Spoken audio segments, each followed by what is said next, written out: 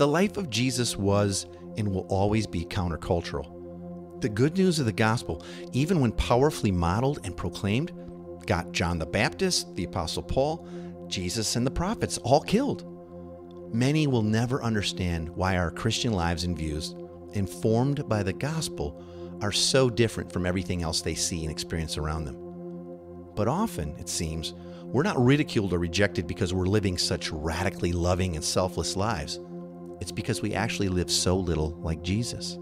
Let's be the same people everywhere we are and with everything we say. Let's stop the hypocrisy of having different personas or weird levels of engagement in different arenas of life. All of the one another's found in Scripture, like love one another, bear with one another, encourage one another, do not judge one another, etc. All of those one another's found in the New Testament apply whether at your dinner table, on social media, or at a neighborhood barbecue. Be sure your words build up rather than tear others down.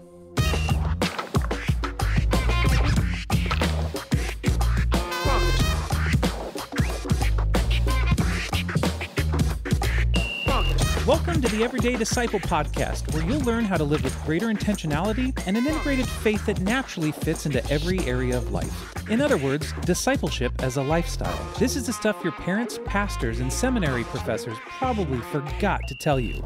And now, here's your host, Caesar Kalinowski. All right, good to be back. And you know what else is good? Summer is back here for us. Yeah, we got a cold week or so for a while there. And I thought, well, that was it. It went from heat warnings to like super fall.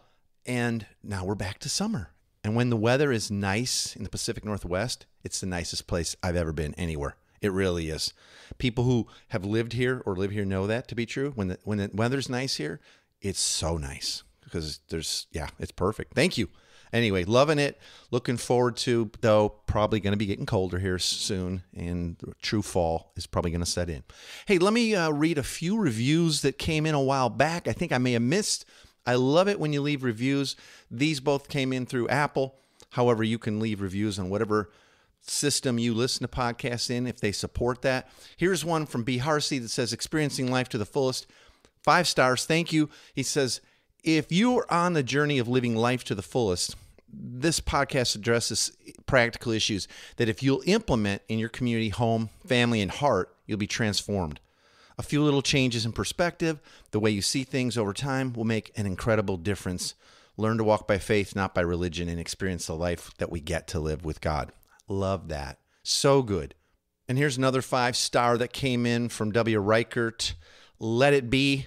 He says, My wife and I have been truly li- trying to live a kingdom lifestyle, and although we are having a very tough time finding others willing to join us, you're not alone in that. This podcast gives us hope and encouragement to keep searching for other people of peace. Thanks for this teaching and its importance week after week. You are so welcome. Thanks for leaving the reviews and the stars.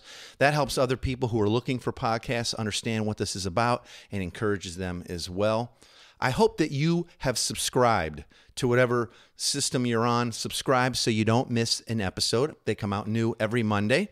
And I can send you to a little page that gives you all kinds of places you can hear podcasts. In case you're maybe listening on the website or whatever, you can go to everydaydisciple.com forward slash subscribe, and you'll see all the various platforms that are out there. Well, there's a million, but you'll see the biggest ones, probably the ones you'd be most interested in.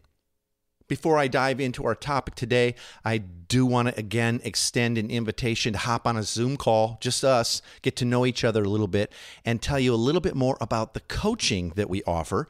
We're coming up to a time of the year where we're going to have a new cohort starting.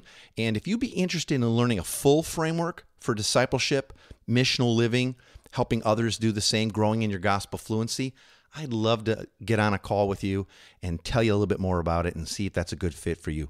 You can get a little bit more information and fill out a little small little form to let me know that you'd like to set up a call. And you can go to everydaydisciple.com forward slash coaching to find out all the stuff about it. All right. Recently, I read an article by Carey Nieuwhof, and he's a pastor, writes a lot of great stuff that kind of tweaks my head at times, very articulate. And I was moved by it. And I wanted to use his thoughts and outline as a springboard to talk about some of these same things. Five dumb things that Christians we all need to stop doing because they really affect our witness, our discipleship. And I want to also talk about a little bit of the gospel behind all of it, the thing behind the thing with each of these issues. So here we go. Thanks again to Carey Nieuwhof for these some of these ideas. I'm even going to quote him in spots. Here's the first one of all the five dumb things we need to stop doing. Stop being so absurd online. Too many Christians come across online as either haters, cynical, or just too darn syrupy. You know, they're haters. They're the angry ranters. There's trolls. There's the theology police out there that have to try to correct everybody in everything. They're arguing with anyone who doesn't agree with them or you don't agree with what that person said. Yeah, don't come off like a hater. That, why are you doing that? Stop. Let's stop that. Or cynical. Yeah, I know everybody's disappointed with everything all the time. No one gets it as right as you do. oh, ick. Or the syrupy Christians online. It's everything's so sweet. It's like you live inside a Christian Hallmark card or a Precious Moments display. Yeah, ugh. No one needs more of that. Well, why do so many Christians think that their social media feeds are a place to show the world their unfiltered weirdness and strong opinions? Why is that? I bet it gives others online the impression that if they're going to follow Jesus, they're going to need to become socially awkward too. Yeah, Ugh, it's not helping. Here's the thing if you think, well, people would just walk out of the room if I said that or brought things up like this in real life, well, then maybe you shouldn't say it. I think that so many people get online and they get brave and they kind of hide behind that and maybe even have false profiles. If you do that, delete that now. That's just lying. That's just being weird. If you're angry or cynical or all you do is complain online and you think, well, I wouldn't want to be friends with someone like that in real life, then that's a clue that maybe you shouldn't say it or be like that. Well, what do you think? But I, I know some of you are thinking, yeah, but Jesus got mad. There is such a thing as righteous indignation. We got to stand up for some stuff. Okay, sure, Jesus did get angry at times. But what did Jesus get upset about? Look, he, he got uh, upset about hardness of heart. You can look in Mark 3. Uh, selfish ambition in people, Mark 8. Spiritual arrogance among his own disciples, Luke 9. Self centeredness, Matthew 23 here's a biggie. This really upset Jesus was hypocrisy and fake religiosity. Mm-hmm. That's from Luke 11. See, try as you might, you won't find any passage where Jesus got mad at sinners for being sinners. You will, however, find him getting angry with so called righteous or religious. And by the way, you won't find Jesus spouting off about Rome or the emperor. He simply reminded his followers that his kingdom is not of this world, which leads us to number two stop arguing about politics, either online or in general. Part of the general creepiness with a lot of Christians is political. Just think about this God is not a Republican or a Democrat, He's not a conservative or a liberal. God is God. He always does what is good, right, and perfect. Be careful because when you or your church becomes a mouthpiece for a political party, I think you cease to be the church. Our job is to share the gospel, making disciples of Jesus, not to change the government.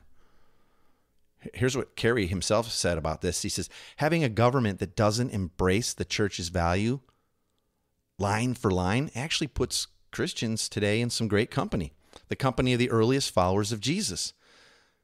Jesus spent about zero time asking the government to change during his ministry. In fact, people asked him to become the government, and he replied, like I just mentioned, this kingdom, his kingdom, is not of this world. And you know what else? He goes on, he says, The Apostle Paul appeared before government officials regularly. Not once did he ask them to change the laws of the land. Hmm. Food for thought, right? And I know some will say, well, God has opinions about things happening today. Mm-hmm. Yep, he does. But when authentic Christians sincerely share different views on subjects, we should be very careful about claiming to speak for God. We need to stop obsessing over being right and acting like we have all the answers. Remember, God is great, so I, we don't have to be in control. Let's start focusing a lot more on following Christ's example sacrificial living, helping everyone in need, comforting, loving everyone around us. But I'm afraid for Christians, it's often easier to yell and complain, oftentimes hidden away online, instead of doing the very hard and humble work of loving people.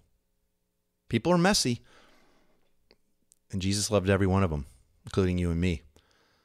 And I know arguing is sort of addictive because it feeds off of our need for self glorification, self righteousness, pride, recognition.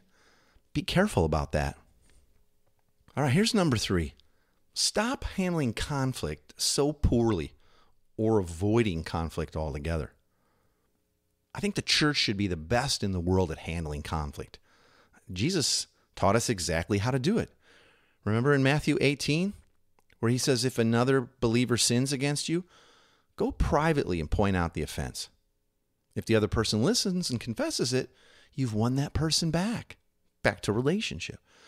But if you're unsuccessful, take one or two others with you and go back again so that everything you say may be confirmed by two or three witnesses.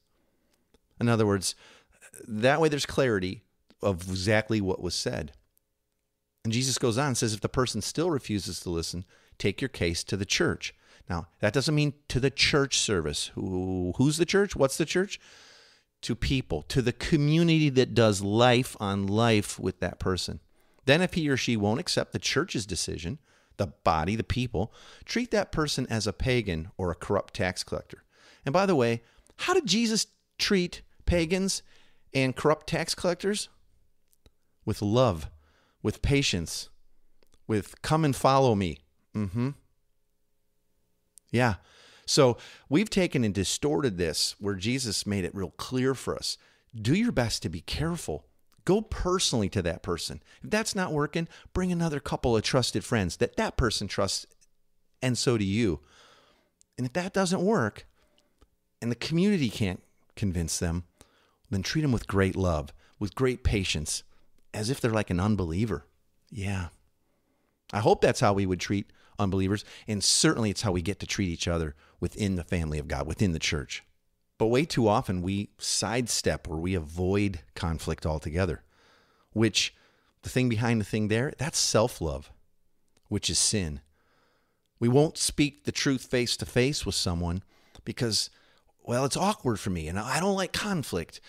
Or what if they're not happy with me? And see, my highest value is that I need to be loved and liked by everyone. So I won't go to them like Jesus suggests and say, hey, I think you sinned against me here and this is how it hurt.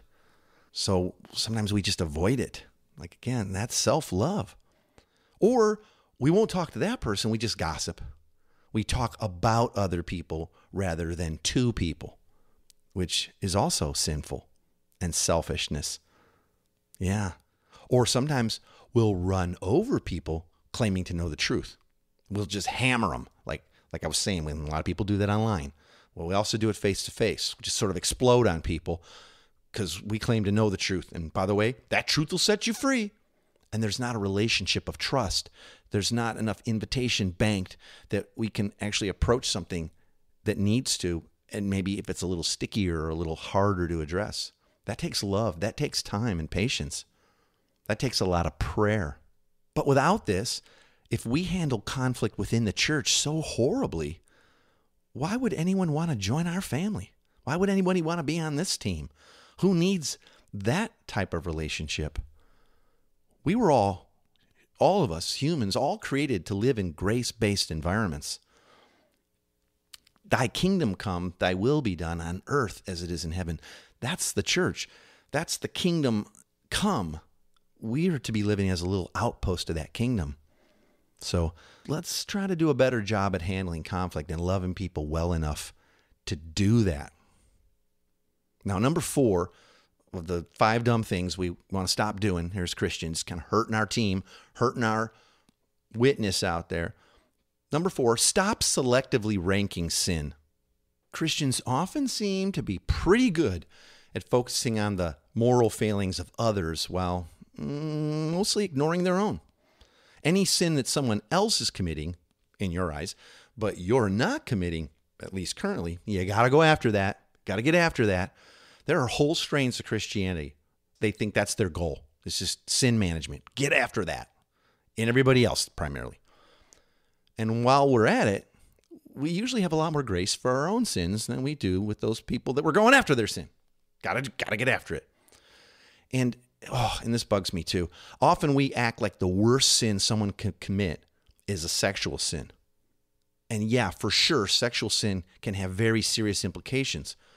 But so does gossip and divisiveness and fighting, sins that Christians routinely participate in, but then sort of sweep under the carpet like it's normal. I would suggest that just as many churches have been ruined by gossip and divisiveness and fighting, quarreling, as have been affected by sexual sin. Probably way more. And certainly, we need to surrender our sexuality to Christ. But I'm also for submitting our propensity to gossip and divisiveness and our greed, submit all that to Jesus in dealing with all of that seriously. Here's the thing God has both forgiven and forgotten all of your sins and everyone else's. That's what Scripture teaches that your sins have been put as far, as far away as the east is from the west. We get a beautiful picture of that in the whole tabernacle system with the two goats. One goat was sacrificed for the sins of the people. The second goat, all their sins were confessed, put on its head, and then that goat was led away, never to be seen again. Jesus paid for your sins, every last one of them on the cross. And God, in His grace, in His mercy, has not only forgiven you and everyone else, but He has chosen not to remember them. It's like when He sees you or your neighbor or whoever, He's like, well, what sin? Well, what sins? He just sees Jesus.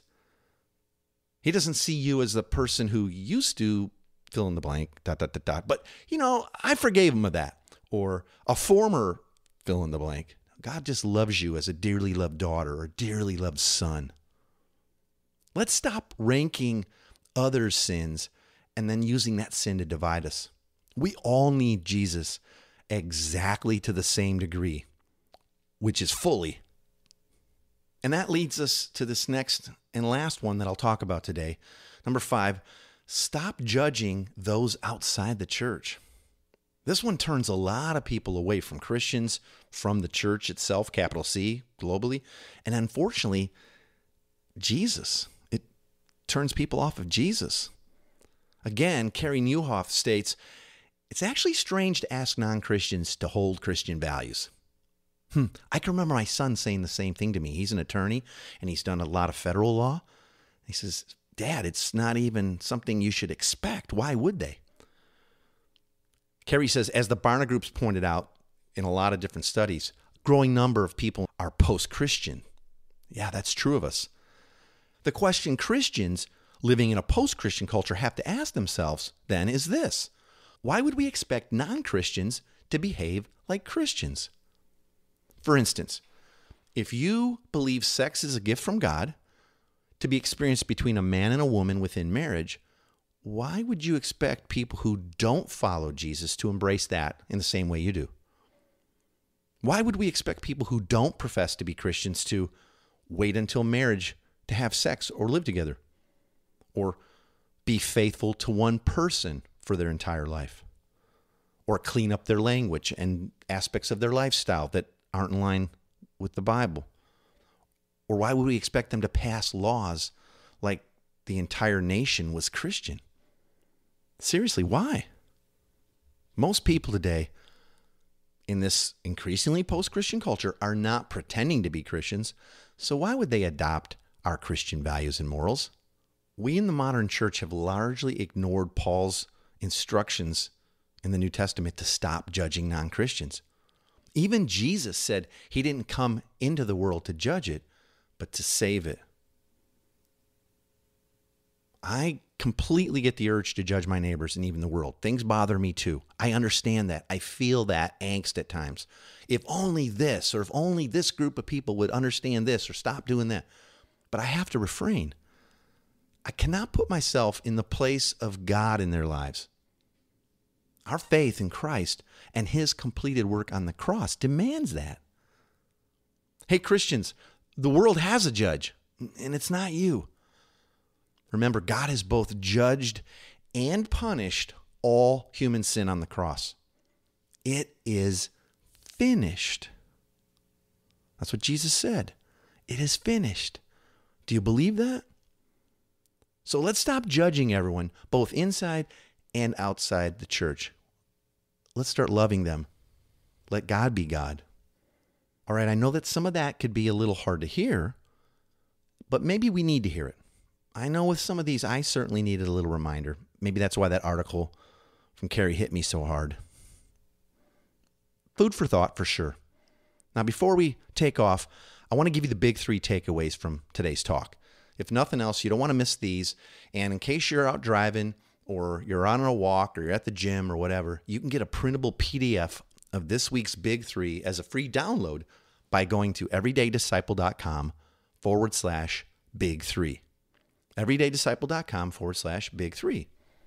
Now, here are the big three for this week. First, the life of Jesus was and will always be countercultural. The good news of the gospel, even when powerfully modeled and proclaimed, got John the Baptist, the Apostle Paul, Jesus, and the prophets all killed. Many will never understand why our Christian lives and views, informed by the gospel, are so different from everything else they see and experience around them. But often, it seems, we're not ridiculed or rejected because we're living such radically loving and selfless lives.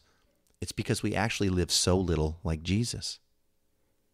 Number two, we were created and live for the purpose of showing others what God is truly like, glorifying our God. Ask yourself are your words, attitudes, and opinions in line with that? Remembering James 1 19 to 20, it says, My dear brothers and sisters, take note of this. Everyone should be quick to listen, slow to speak, slow to become angry, because human anger does not produce the righteousness that God desires. It was true back then for Jesus' own disciples. It's still true for us today.